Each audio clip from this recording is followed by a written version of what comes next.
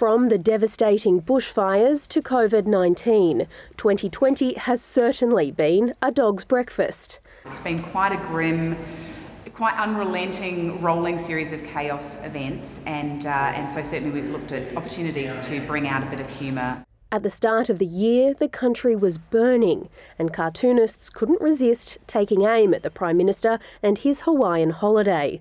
By March, Australia was well and truly in the grips of a global pandemic. Lockdown, social distancing, and hoarding were hot topics. The role of political cartoonists is not only to provide comic relief, it's also to rock the boat, and that takes guts.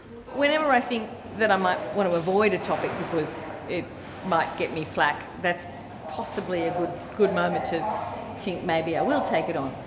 One of the curator's top picks is Cathy's cartoon, The New Casual, a look at the privatisation of nursing homes and the spread of coronavirus. It was so confronting, The Age in Melbourne chose not to run it.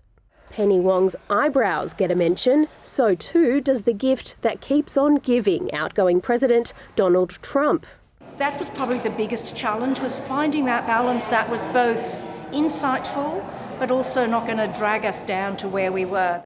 And while memories of this hellish year will thankfully fade, these insightful cartoons won't. Rosie King, ABC News, Canberra.